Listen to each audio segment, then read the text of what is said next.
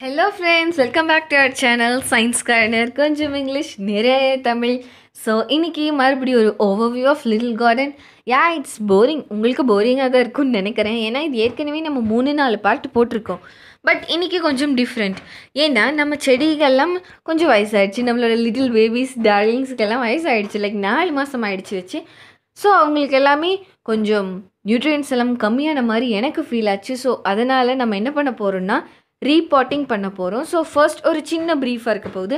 What is ரீபாட்டிங் அப்படின்னா நம்மளோட செடி அதாவது நிலத்தில் வளர்க்குற செடிக்கெல்லாம் ரீபாட்டிங் தேவையே கிடையாது. பட் நம்ம வீட்டில் பாட்டில்ஸில் பாட்டில் எல்லாம் வளர்க்குறதுக்கு ரீபாட்டிங் கண்டிப்பாக தேவை. அந்த மாதிரி நம்மளுக்கு தேவையான செடிகள் எல்லாமே நம்ம பாட்டில் வச்சுருப்போம். லைக் தொட்டியில் வச்சுருப்போம். இல்லைன்னா நீங்கள் பாட்டில்ஸ் எதில் வேணால் வச்சுக்கோங்க. ஸோ அப்படி இருக்கும்போது நிலத்துல இருந்தால் அதுக்கு தேவையான நியூட்ரியன்ஸ் அதுவே எடுத்துக்கும். இதே நம்ம தனியாக செடி டப்பாலாம் அதில் இதில் வைக்கும்போது அதுக்கு நியூட்ரியன்ஸ் யார் கொடுப்பா? நம்ம தான் கொடுக்கணும். ஸோ அதோட மண்ணில் இருக்கிறது எல்லாமே எடுத்துகிட்டு அது ஒரு சில நாட்களில் வ வளர்ந்துரும். அவ்வளோதான் அதுக்கப்புறம் நம்ம மண்ணை ரீப்ளேஸ் பண்ணணும். லைக் பழைய மண்ணை எடுத்து போட்டுட்டு புதிய மண்ணை நம்ம போடணும். இதுதான் ரீபாட்டிங் ஸோ இதில் வந்து நீங்கள் உரம் போடலாம் வேர்மி கம்போஸ் மண்புழு உரம் இயற்கை உரம் இந்த மாதிரி உரங்களை எல்லாமே நீங்கள் புது மண் போடுறது மண்ணுக்குள்ளே மிக்ஸ் பண்ணிவிட்டு நீங்கள் செடி வைக்கும்போது வச்சுக்கலாம். ஸோ இதுதான் கம்ப்ளீட்டாக ஒரு ப்ரீஃப் ஆஃப் ரீபாட்டிங் ஸோ இன்றைக்கி நம்மளோட லிட்டில் கார்டனில் எவ்வளோ செடிகள் எவ்வளோ டார்லிங்ஸ் இருக்காங்களோ அவ்வளோத்துக்கும் புதுசாக பண்ண போகிறோம் இதை வந்து நல்லா மிக்ஸ் பண்ணி வச்சுக்கோங்க. ஸோ இந்த மாதிரி ரீபாட்டிங்கை வந்து நீங்கள் கண்டினியூவாக பண்ணிகிட்டே வந்தீங்க. Three months one four month five month இந்த மாதிரி பண்ணும்போது பிளான்ட்டோட நல்ல க்ரோத்தும் கரெக்டாக ப்ராப்பராக இருக்கும். இப்போதான் நம்ம ரீபாட்டிங் பண்ண ஸ்டார்ட் பண்ணிட்டோம். ஸோ ஃபஸ்ட் நம்மளுக்கு தேவை மண். மண் எடுத்து பெரிய பெரிய களை பிரிக்கணும். ஸோ நல்லா பார்த்து பெரிய பெரிய கல்லாம் எடுத்து வீசிட்டு உரம் போட்டுக்கோங்க. நம்ம இந்த செடியில் என்ன பண்ணியிருக்கோம்னா லைக் நம்ம உரம் எல்லாம் எடுக்கல ஃப்ரெண்ட்ஸ் ஏன்னா நம்ம சொன்ன மாதிரி நம்ம ஆர்னமெண்டல் பிளான் ஸோ அந்தளவுக்கு இதுக்கு உரமெல்லாம் தேவை கிடையாது. மண்ணை மட்டும் ட்ரான்ஸ்ஃபர் பண்ணால் போதும். ஸோ இது பார்த்துக்கோங்க. மண் எடுத்தால் அப்படியே கொஞ்சம் பிசு பிசுன்னு வந்துருச்சு. லைக் உங்களுக்கு மண்ணில் கை வைக்கிறது ரொம்ப ரொம்ப அக்வர்டாக இருந்துச்சுன்னா டெஃபினட்டாக நீங்கள் வந்து க்ளவுஸ் போட்டுக்கலாம். பட் இது சாதாரண மண் தான் நம்ம எந்த உரமோ இல்லை வேர்மி கம்போஸ்ட்டோ நம்ம யூஸ் பண்ணாதனால நம்ம நார்மல் கையிலே யூஸ் பண்ணலாம். எந்த ஒரு அலர்ஜியும் வராது. ஸோ அதனால தான் நான் வெறும் கையில் யூஸ் பண்ணியிருக்கேன். நீங்கள் க்ளவுஸ் யூஸ் பண்ணிக்கோங்க.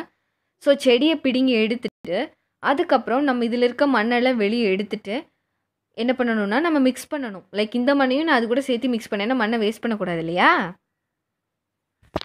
இப்போ என்ன பண்ணிகிட்ருக்கோன்னா மண்ணெல்லாம் கம்ப்ளீட்டாக வெளியே எடுத்துட்டு அந்தந்த ஒரு மாதிரி மண் இருந்துச்சுல்ல ஸோ அது கூட நல்ல மண்ணும் போட்டு நல்லா மிக்ஸ் பண்ணுறேன் ஸோ நல்லா மிக்ஸ் பண்ணும்போது இதில் இருக்கிறதும் ஏற்கனவே அதில் ரூட்ஸ் எல்லாம் இருக்கிறனால நைட்ரஜன் ஃபிக்ஸிங் பாக்டீரியா அதில் இருக்கும்.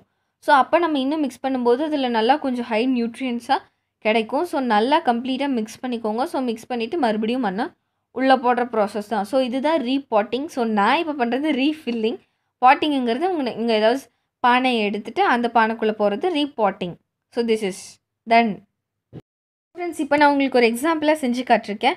லைக் நம்ம பாட்டிலிருந்து செடியை பிடுங்கி வெளியே எடுத்துட்டோம். எடுத்துகிட்டு இந்த மாதிரி ரூட்ஸ் எல்லாம் நீங்கள் எப்போவுமே இருக்கணும். லைக் நீங்கள் வேறு எந்த செடி வச்சுருந்தாலும் லைக் கத்திரிக்காய் தக்காளி அதெல்லாம் போயிடும். பட் சில பிளா பிளான்ஸ் எல்லாம் இருக்குல்ல ஸோ அதுக்கு நீங்கள் பிடுங்கும்போது கம்ப்ளீட்டாக ரூட் எல்லாம் விட்டுட்டு செடி தண்டை மட்டும் வச்சிங்கன்னா வளராது. ஸோ கம்ப்ளீட்டாக ரூட் நம்மளுக்கு தேவை.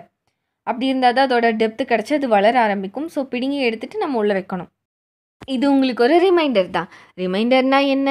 நீங்கள் வந்து இதில் ரெண்டு ஸ்டெப் ரீபாட்டிங்கில் ரெண்டு மெயின் ஸ்டெப் இருக்குது ஒன்று செடியை மெதுவாக பிடுங்கி எடுத்து அதோட வேரெல்லாம் நீங்கள் பத்திரமா க்ளீன் பண்ணி கிளியராக வச்சுக்கோங்க. வேர் கட் ஆகக்கூடாது. அதுக்கப்புறம் நீங்கள் மண்ணை எந்த அளவுக்கு மிக்ஸ் பண்ணுறீங்களோ அந்த அளவுக்கு உங்கள் பிளான்ட் க்ரோத் கிடைக்கும். ஸோ இதுதான். ஸோ இதுக்கடுத்து இந்த செடி நல்லா வளருமா? இப்படி மாற்றி வச்சா உண்மையிலேயே செடி வளருமா? இல்லை வாடிருமா? இல்லை எப்படி தான் இருக்க போகுது? நிறைய பேர் என்கிட்ட சொன்னது அப்படியெல்லாம் பிடுங்கி வச்சா செடி வளராது. அப்படின்னு சொல்கிறாங்க ஸோ உண்மையிலேயே நம்மளுக்கும் அதுதான் நடந்துருமோ? அப்படில்லாத்தையும் பார்க்க செகண்ட் வீடியோவுக்கு வெயிட் பண்ணுங்கள் பபாய்